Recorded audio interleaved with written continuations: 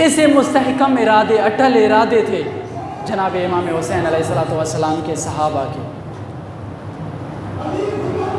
चंद एक कैसे थे जो इमाम के साथ आए थे। चंद एक को बुलाया गया। उनमें से एक थे जनाब हबीब इबन मज़ाहिर अल-असदी।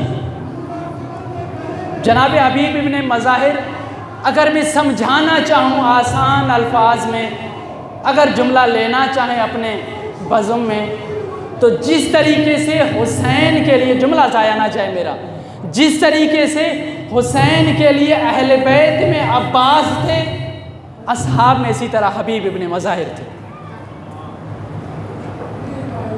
यानी जिसको वक्त का इमाम कहे रजुल फ़की जब इमाम ने ख़त लिखा कि जिसको वक्त का इमाम कहे रजुल फ़कीर तो वह इल्म पर किस मंजिल पर फायज होगा?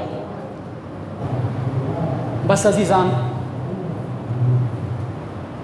सफ़ीना हुसैन आ गया करबला में लहजा दर लहजा लम्हा ब लम्हा दुश्मन आते जा रहे हैं। एक मरतबा,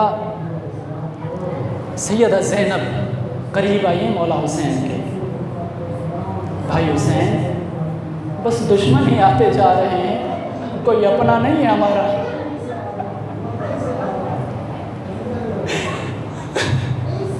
अजरकुम जहरा। दो आँसू निकल जाए ना आँखों से, तेरी भी निजात, मेरी भी निजात। उलमा पढ़ते हैं, किताबों में मिलता है कि जब किसी रोने वाले की आँखों से आँसू निकलते हैं, सैयदा जहरा ज़मीन पर गिरने नहीं देती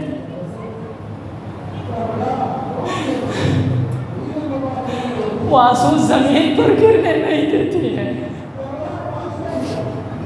हुसैन, सब दुश्मन आ रहे हैं। हुसैन, तेरा कोई अपना नहीं है। हाँ बहन, एक अपना है, मैं ख़त लिखता हूँ। इमाम ने तहरीर लिखना शुरू की मैनल हुसैन एला रजुल फ़की हुसैन की जानब, रजुल फ़की हबीब इबन मज़ाहिर की जानब। हबीब खाना खा रहा था, ख़त मिला, मैं मुख्तसर करता चलूँ। ख़त को चूमा, मौला को सलाम किया। कांपते हाथों से हबीब ने ख़त पढ़ा।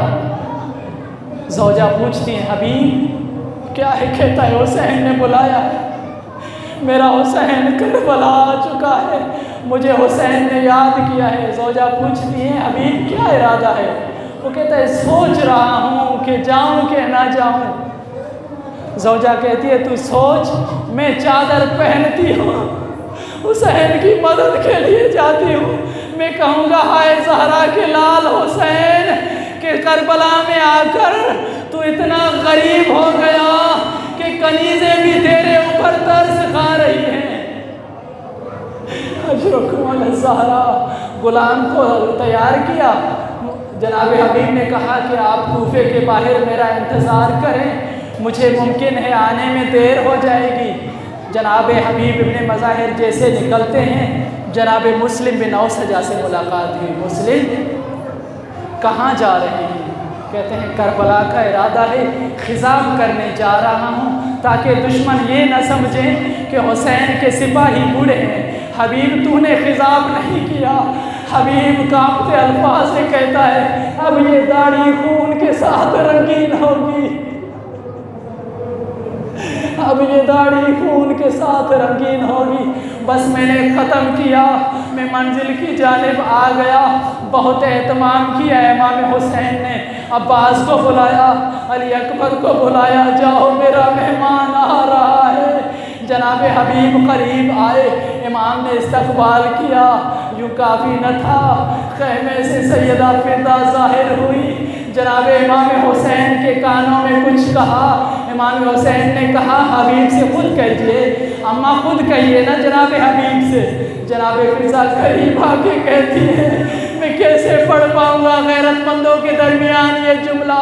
जनाब हबीब से जनाब फिजा कहती है, अली की उस बेटी ने सलाम भेजा है, जो बाबा के साथ कलाम नहीं करती थी। सैदा जैनब कह रही है, चचा हबीब जनाब हबीब ज़मीन पर बैठे, मिट्टी उठाई, बालों में डाली, कहते आका हुसैन, हाय तेरी गुर्बत, अब नौकरों को तेरी बहनें चचा कहने लगी। अजरकुम अलजहरा सैदा तुम्हारे इन आंसुओं को कबूल करे, आपके आंसुओं को कब्र इमाम नसीब हो, बस अजादारो योम आशूर हुआ। सहाबा शहीद होते गए, इमाम भेजते गए या हबीब शहीद हुआ। रवायात में मिलता है कि किसी ने इतने मलाउनों को फिनार नहीं किया जितना हबीब इबन मज़ाहिर ने किया। यूँ लड़ते लड़ते एक मलाउन ने जनाब हबीब इबन मज़ाहिर की पेशानी पर तीर मारा। मौला जनाब हबीब ने मज़ाहिर जीन से ज़मीन पर आए, एक मरतबा निदा देते हैं, अस्सलाम या अबा अब्दुल्ला ग़ुलाम जीन से ज़मीन पर आए हैं। हाँ बस अजादारों चंद जुमलों की जहमत। मौला आए जानो मुबारक पर सर रखा। विदाई की शहादत हो गई। योम आशूर के बाद जब सरों को ले जाया गया, शाम के रास्ते में जनाब हबीब के हबीब के फर्जन मौजूद थे। जब देखा ना कि मेरे बाबा का सर नेज़े पर मौजूद है, ये एहतजाजन करीब आते हैं। उसने लड़ाई की है। हबीब इबन मज़ाहिर का सर ले लिया है। अजादारों कुलूब पे बर्दाश्त कीजिएगा।